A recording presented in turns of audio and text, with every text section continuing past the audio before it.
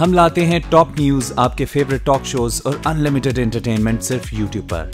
अगर आपने अभी तक हमारा चैनल सब्सक्राइब नहीं किया तो अभी सब्सक्राइब करें और बेल आइकॉन को क्लिक करके हमारी लेटेस्ट वीडियोस के बारे में अपडेट जानें। सब्सक्राइब कीजिए और हम आपको लिए चलेंगे आपकी फेवरेट वीडियो की तरफ़।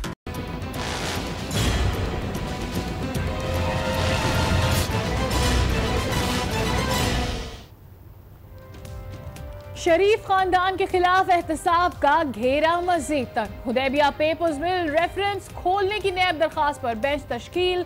जस्टिस आसिफ सईद खोसा की सरबराही में तीन रुकनी बेंच 13 नवंबर को समाप्त करेगा।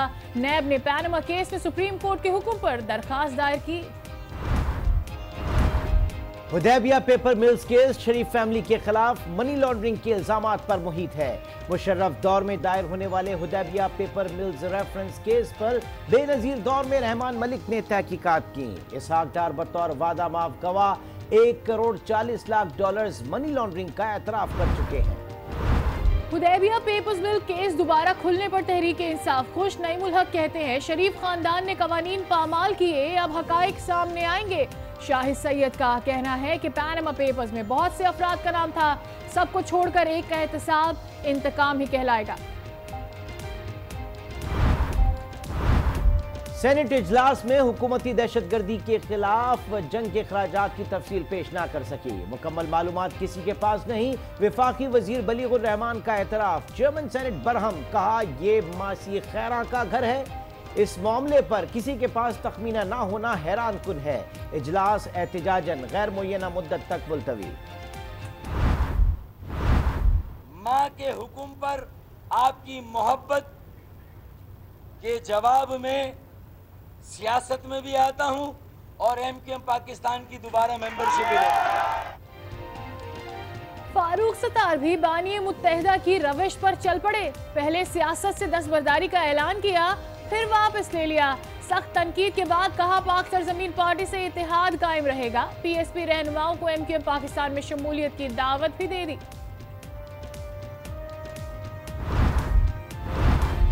वज़ीर आज़म आर्मी चीफ और इंटेलिजेंस एजेंसी के सरबराहान को खत लिख कर मुश्किल से आगाह कर दिया। फारूक सत्तार का ऐलान, दबाव बढ़ने पर खत के मंदरजात आम करने की भी धमकी।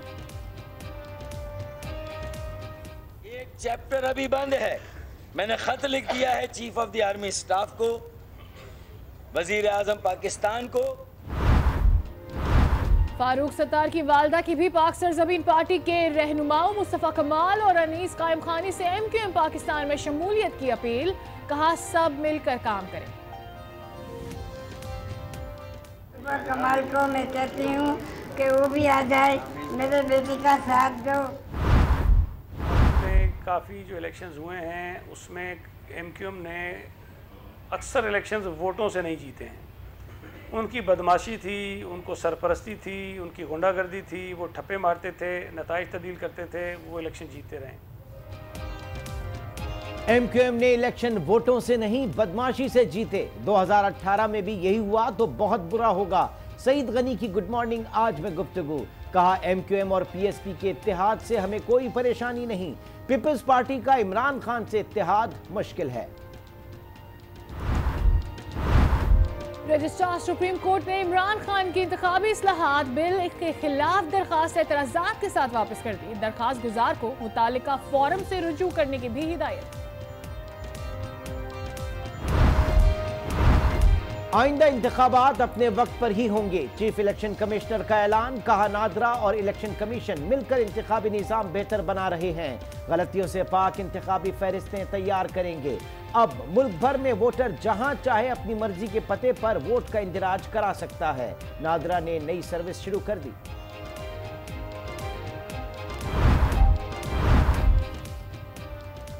जमहूरियत के रास्ते पर चलते रहते तो मुल्क मुतहद और तरक्की याफ्ता होता।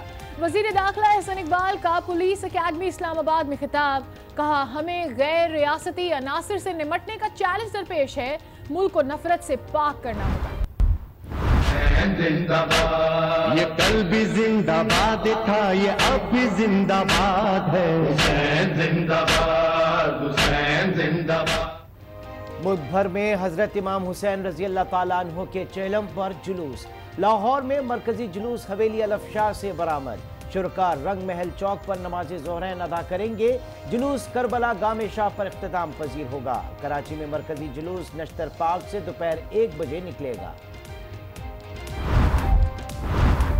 हज़रत इमाम हुसैन के चेहलों पर मुल्क में सख्त हिफाजती इंतज़ाम कराची में मोबाइल फ़ोन सर्विस मुकम्मल और दीगर शहरों में जुजवी तौर पर बंद, मोटरसाइकिल की डबल सवारी पर भी पाबंदी।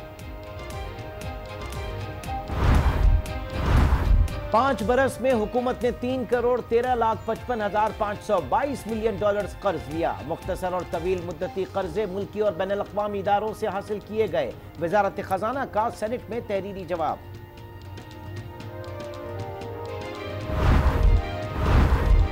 पंजाब में मेड इन इंडिया स्मोक से आवाम का जीना आज भी दोबर आलूदा धुंध के बायस जमीनी और फिजाई ट्रैफ़िक भी मुतासर। नई दिल्ली की फिजा पर छाई स्मोक चौथे रोज मजीद शिद्दत इख्तियार कर गई। लोगों को सांस लेने में दुश्वारी, आँखों में जलन। हरियाणा और भारतीय पंजाब में भी स्मोक लपेट में। सऊदी अरब में करप्शन के इल्ज़ाम में गिरफ़्तार, सात अफराद को रिहा कर दिया गया। 201 अफराद अभी जेर हिरासत है, सऊदी अटॉर्नी जनरल कहते हैं। तफ्तीश से पता चला कि 100 अरब डॉलर की करप्शन मुनजम अंदाज में है।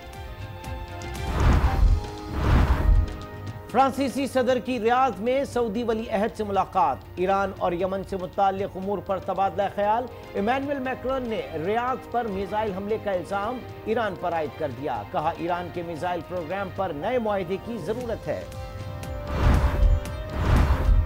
अमरीकी सदर